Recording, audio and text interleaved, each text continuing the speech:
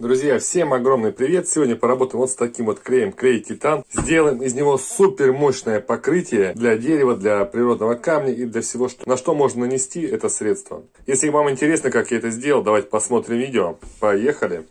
Друзья, ну это средство подсказал мне из этого клея сделать один мой подписчик, не знаю, подписчик или нет. Владимир Волчанов, спасибо вам большое. Давайте попробуем и все-таки узнаем, настолько ли оно хорошо. Меня просил донести это в люди. Проверено временем 20 лет. Как всегда, берем пластиковый стакан и будем наливать туда наш клей.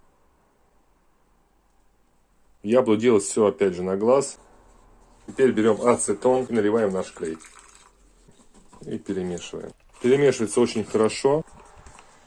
То есть можно его прям жидким-жидким сделать. Мы сейчас чуть-чуть пожиже сделаем первое. Получается такая вот жидкая субстанция. Это полимерный клей, разбавленный ацетоном. И добавим для цвета обычный колер. Хотя он мне советовал добавлять нитрокраску автомобильную. И хорошенечко перемешиваем.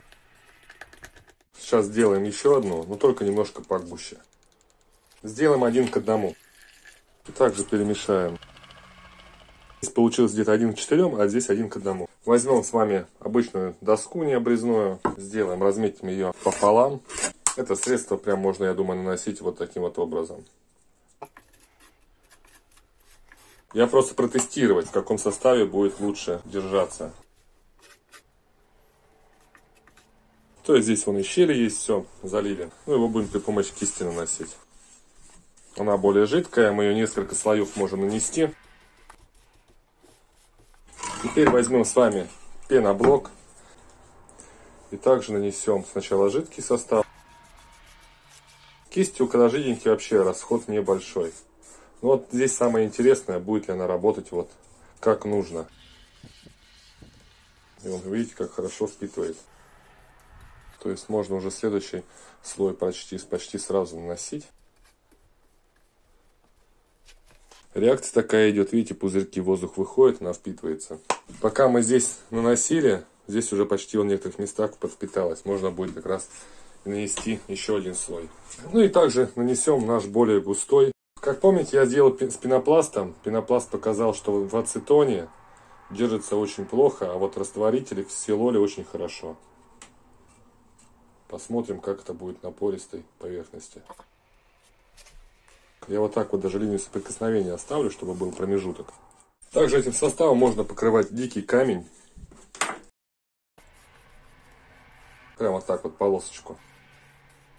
Ну и наш состав, более густой который.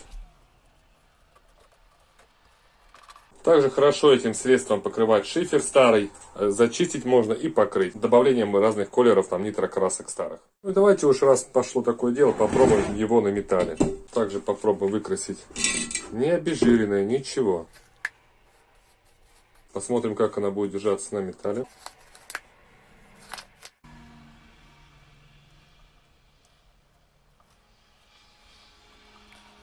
Оставляем это подсохнуть с вами, посмотрим, что же из этого получится. Хочу сразу сказать, сохнет это довольно-таки быстро, на деревяшке уже в некоторых местах уже даже не липнет.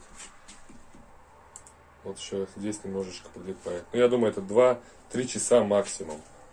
Что оставались остатки, насыпал обычной затирки от плитки. Ну, думаю, попробовать, что будет. И покроем сейчас деревяшку со всех сторон. Просто ради интереса. Такая она густоватая. Можно было бы, конечно, немножко, может, подразбавить. Мы будем делать так, как есть.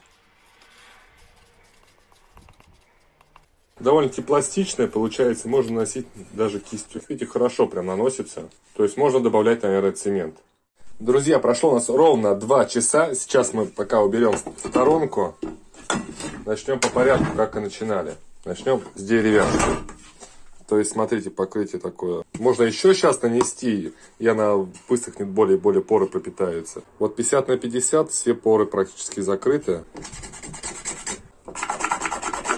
Ну, корябаться сильно не корябает. Ну, здесь просто проминается дерево, и все. Так, что же у нас с водой? Ну, с водой, как мы видим, все в порядке, вода скатывается. И также, я думаю, то же самое и здесь. Вода не впитывается.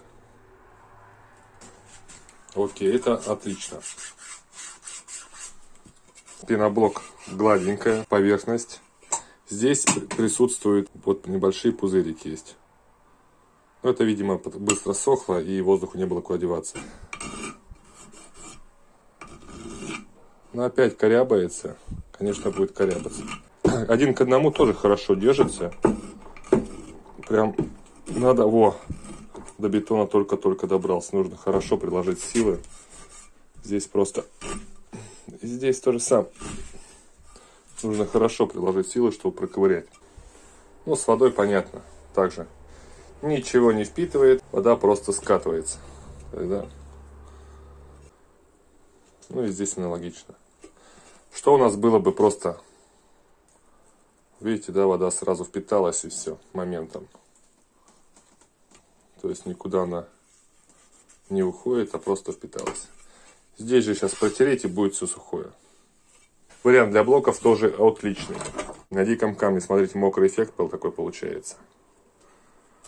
Ну и покрытие такое. Я думаю, тоже будет крепко. Тут, вот.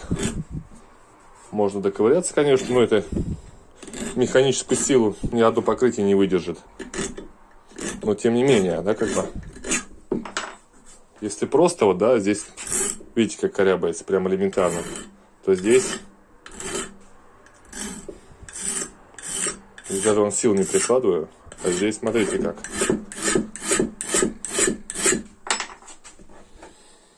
Результат, конечно, ну это просто коряб, корябнуто, но не до камня. Ну, естественно, тоже влага, я так понимаю, впитываться не будет. Если здесь она по-другому, то здесь она просто собирается. Да, как бы вот разница. Здесь можно потереть и будет мокрая. Здесь мокрая не будет. Вот сейчас вытрем. И вот тут сразу видно, где вот был промежуток не прокрашенный, сразу видно, что мокро. Здесь же просто-напросто наше покрытие. То есть супер. На металле смотрим, он не был у нас обезжирен, ничего, просто... Ну, вот. Ну, держится. Хочу сказать, что довольно-таки нормально держится. Что... Ну, то я не доковырял до, до металла. Просто взъершил. То есть прям четко. Ну и вода, естественно, тоже будет, не будет собираться. Да, как бы видим такой эффект. Слушайте, тема интересная, прям класс. Но мне было интересно раствор, который был замешан затиркой. Смотрите. Просто дерево промялось. То есть, да, а сам раствор не, не, не слезает.